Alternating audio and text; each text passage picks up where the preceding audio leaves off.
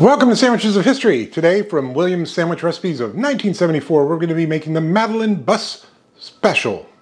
Bus. Bussy? Not sure.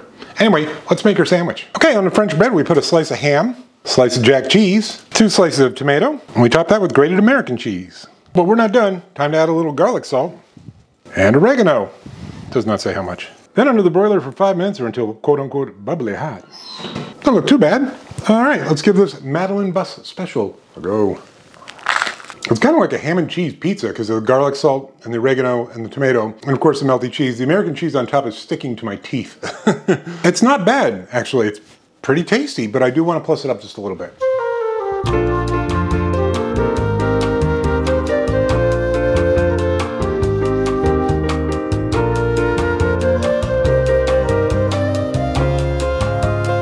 Okay, let's give this Madeline Busse Special plus up with a little chili flake, grated Parmesan, and a top piece of bread. Go.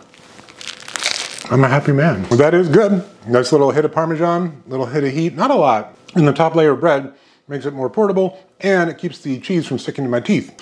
Well, look, the Madeline Busse Special, the original, was tasty. It was a great combination of flavors. The ham, the, the Monterey Jack, even the American cheese got all melty and I don't mind American cheese like that. Um, I thought the flavor was really good. I'm gonna give it a seven. Plus up a little uh, chili flake, Parmesan cheese, and a top layer of bread. I'm gonna go ahead and give that a seven and a half. That is tasty. I would eat that anytime. Yeah, I'll make it again. All right, I'm gonna finish this. I'll see you tomorrow.